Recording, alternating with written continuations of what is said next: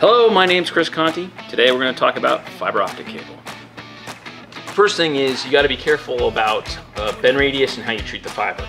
You know, the fiber effectively is a piece of glass that's the width of a human hair right down the middle of this armored jacketed cable. Um, so when you're pulling the cable, we try to keep them on reels. If not, you got to keep a nice coil to them. Um, but when you're pulling the cable through a building or something like that, you don't want to pull by the connector.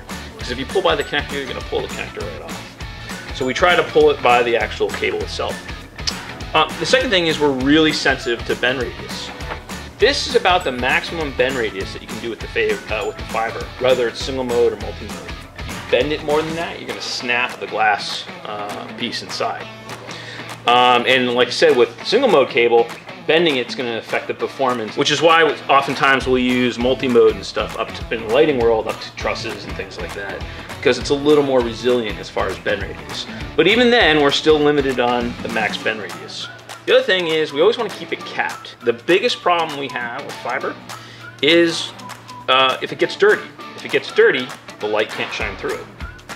So unless you're plugging in it or unplugging it, you should always keep the cap on. Uh, now the quad and the duo do have a, a, a flippy door inside it here that helps protect it.